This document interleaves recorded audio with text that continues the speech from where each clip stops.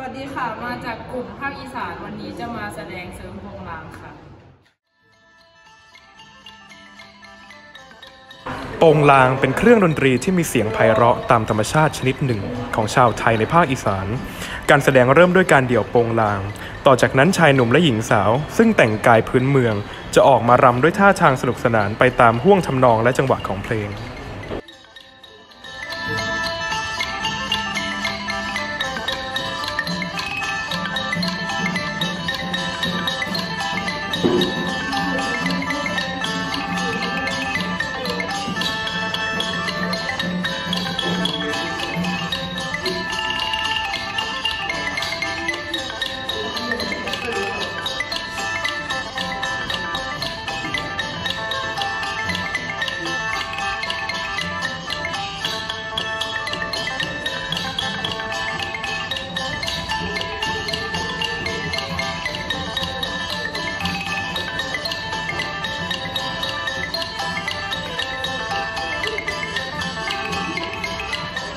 การแสดงเพียงเท่านี้ค่ะขอบคุณค่ะ